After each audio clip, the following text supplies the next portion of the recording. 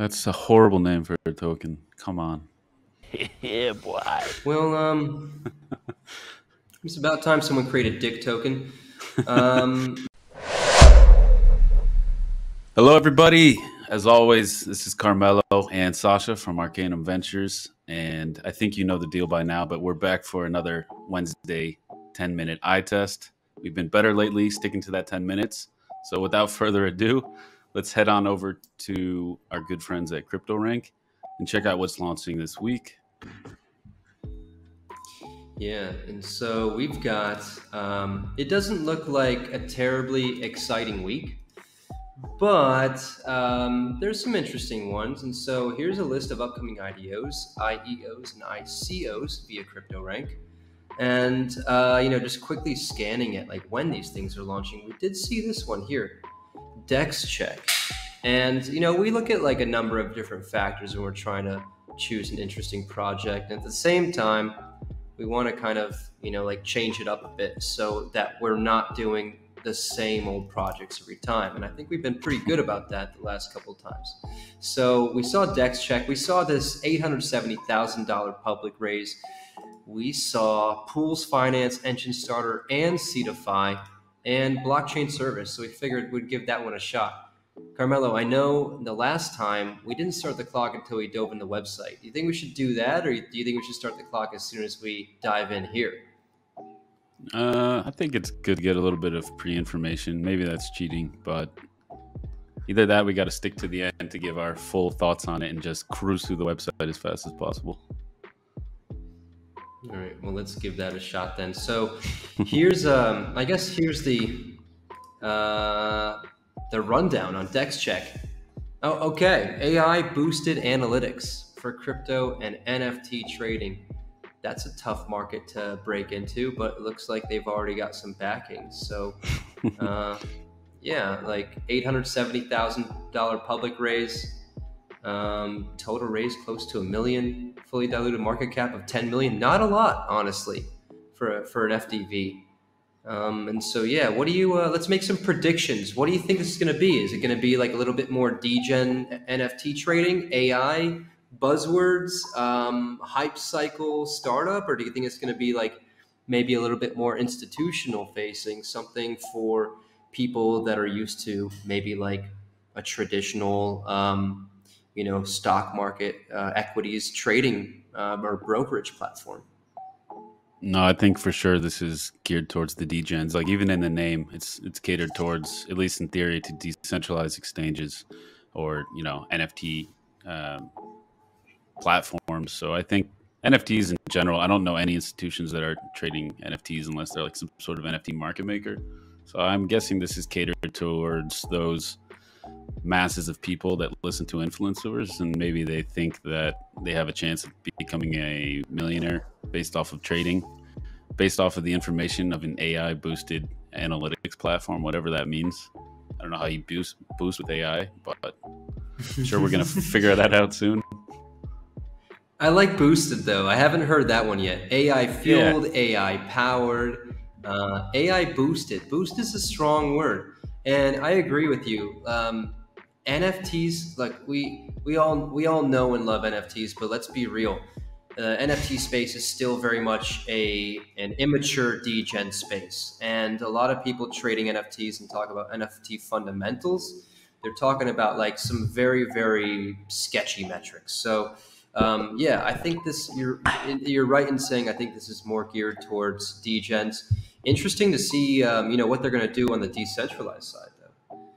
So, Even more interesting when you, ado, when you consider like all these, oh, there's steep competition out there, like you know Messari or Dune Analytics. So I think they're probably using AI augmentation already. So I, I have a hard time believing any new competitor is really going to make a an actual challenge, but we'll see. Yeah, and I think we'll also try and uncover like what do they mean AI? Like, are they actually using any AI, or are they just using AI as a buzzword? So, um, all this and more. And uh, let's go ahead and dive in then.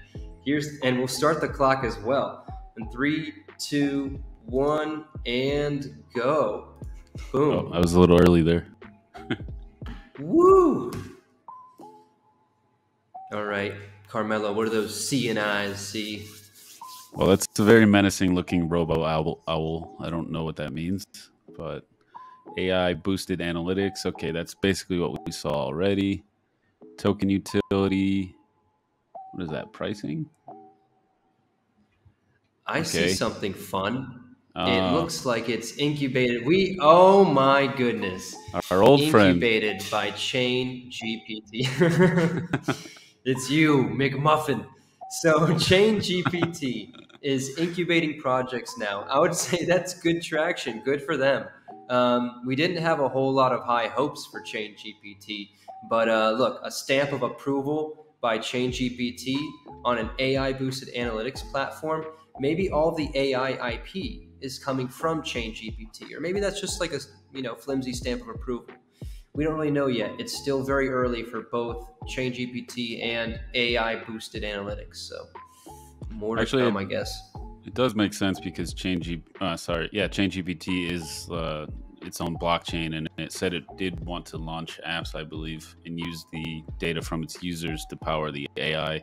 So that's pretty cool. At least they're sticking to what they wanted to. That is true, and like one would hope that they raised enough money uh, through their token launch and the hype cycle, and I think it hit like 22, 24x or something. So maybe they were able to extend their runway a little bit. So um, let's dive right in. Like the visuals um, look pretty cool. I think it looks cool. Um, and looks like they're building a revolutionary uh, platform powering crypto slash NFT trading success with AI driven blockchain intelligence. Founders and website creators, uh, all caps text uh, stuff together like this, it's no fun to read. So maybe uh, maybe do something with it. I feel like there's two main things I want to see so far, And and pricing and uh, enter the app. Like you can actually enter the app, which is pretty cool. At least it's live now, so we can see what it looks like. Yeah, and then we'll we'll enter the app. Let's just run through this real quick. So unparalleled AI powered analytics. That's one of my favorite words, but unfortunately, it's not a word you want to see when um, trying to learn about what a company is doing. It's a descriptive word. Um, it doesn't offer any sort of like tangible metric or deliverable. Like unparalleled is kind of just uh, subjective, right? Elite Trader Unmasking. So they've got some trading tools. They've got market intelligence um, maybe from like data feeds and secure and user friendly platform. I guess we'll find out if that's true when we dive in, but looks like there's a little screenshot here. Um, and that's pretty cool. Nice website.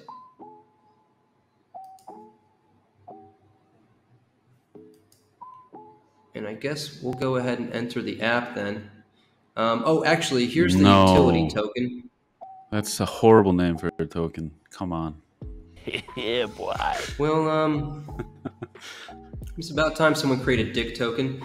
Um, but hey, check it out. It unlocks analytics tools. It gives you access to private sales. Don't know what that means. Um, are you are we talking about like IPOs or IDOs uh, on dexes? Um, influence through DAO governance. Throw governance at everything. Access Always. to premium group and support. For a second, I thought it said premium support group. Like when you lose all your money trading with leverage, you need a support group to try and make sure that you live through those hard times. That's something that we need. And then earn rewards through staking. So um, Robust, see. robust tokenomics. a lot of descriptive words here. And so, yeah, I think what we should do is try and understand a little bit more about how the product works, the app works, because already, let's make a judgment call here. In my opinion, um, the tokenomics don't seem so strong. I mean, we've got like payment barriers, access barriers, earn rewards through staking. Come on, this is something from like a year and a half ago, guys. Like, uh, I. You can go to any number of protocols or any token and just get staking rewards um, you know and it's not a good business model because what you're doing is you're asking users to lock up tokens and then you're rewarding them with more tokens and so you're just creating massive inflation the only reason you'd want to pursue that maybe is that you yourself want to liquidate tokens Um, so, like, you know, investors need to be smarter than this. That's not a great utility to look at. And then uh, unlocking pro analytics tools through staking or maybe spending tokens. Honestly, that can be done with a stablecoin, like a subscription service, SaaS, something like that.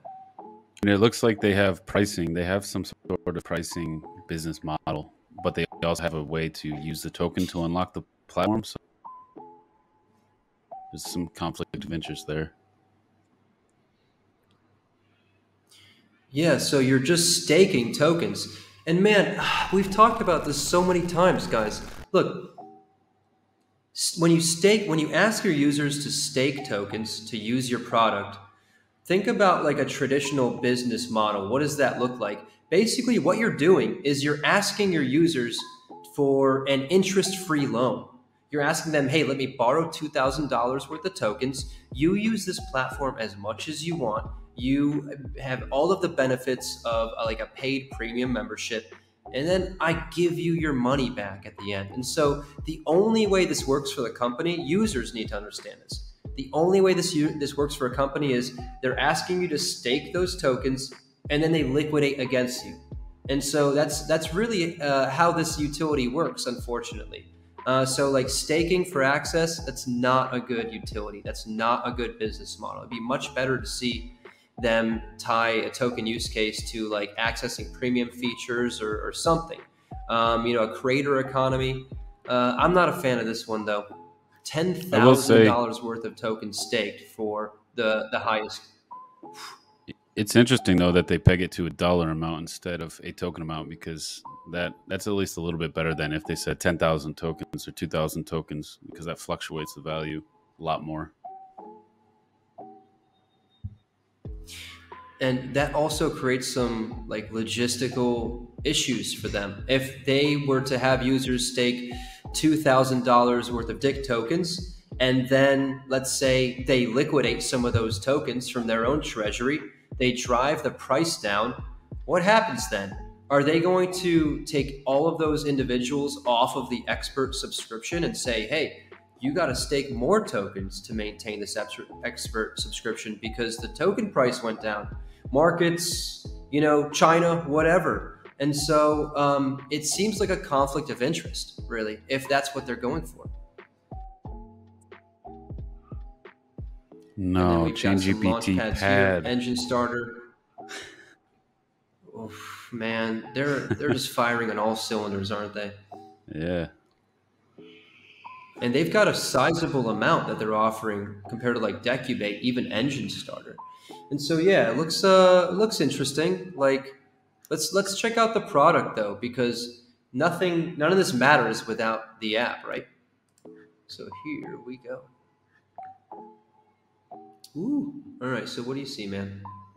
Well, kudos for having a live product because we've seen some projects take 3 years and still never launch anything.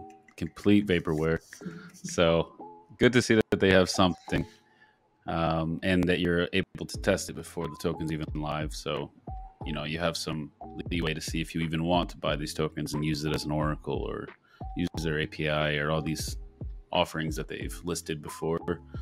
So it looks pretty cool. I'm, I'm not sure. I, personally think I would much rather just pay the what small fee every month to use Messari or Dune Analytics, but I don't know what the the advantage here. Uh, AI is not going to cut it for me, so I don't know why I would use this over that. I mean, it is nice to pay with crypto or stake crypto, I guess, but it's not going to bode well for them if they just have a staking access model. Like you and I hate staking access models for a reason. It doesn't really do well for the token or the, the project. It doesn't create any wealth or revenue.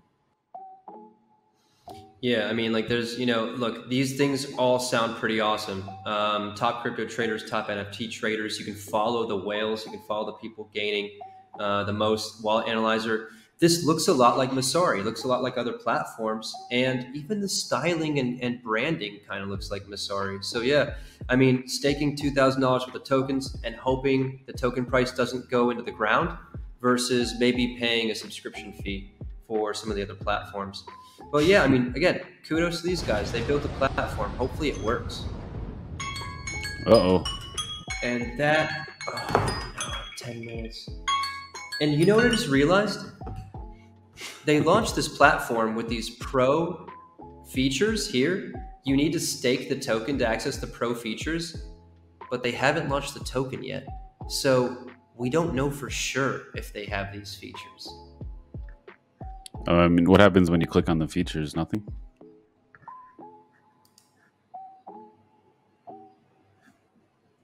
Oh man, it's loading. Uh oh. Something. Anticipation. Well, Nothing maybe- happened. so they could have nothing. I thought they would probably offer something free, like a, a sneak peek, like you're allowed to use these tools until the token launches, just to get you hooked. But, but looks like they have nothing. So that is not encouraging.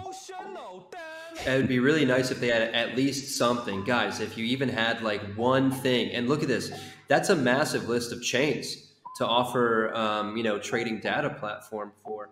Um, if you had something, oh man, I would be so excited. And all the chains are Uh, I guess EVM, they've got some top NFT traders. I don't think they had all any non EVM trades. Uh, they've got uh, yeah, I think they're all EVM, huh? Is Chronos E EVM? I don't think so. But I might be wrong. Hmm. But it's interesting. I wanted to see for the NFT aspect, especially if they had um, Solana, but more importantly, um, ordinals like or BRC20, because that is like one of the biggest narratives in NFTs. Still, is like that whole ecosystem is exploding. So no serious NFT trader is going to use a platform that doesn't incorporate that. Yeah, I know we're I know we're done now. That's our ten minutes. I just I really like messing around with some of these new platforms and understanding what they're doing, especially when it comes to data because I love data stuff. And so it, it just doesn't look like they've got a whole lot on here yet. I mean, it is the beginning. They are launching a token right now, so uh, maybe this is good traction. But anyways, um, I think maybe like worth a deeper dive into the product itself. Any, but uh, let's go ahead and remove that away. And I think it's time for dun, dun, dun, the verdict. Da, da, da. So uh, zoom in on our faces. Um, okay, well, would you like to go first?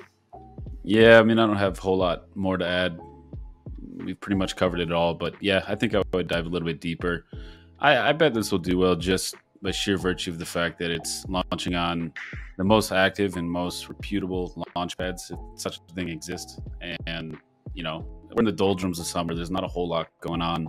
So, an AI project incubated by probably the most impressive AI project that's launched this summer.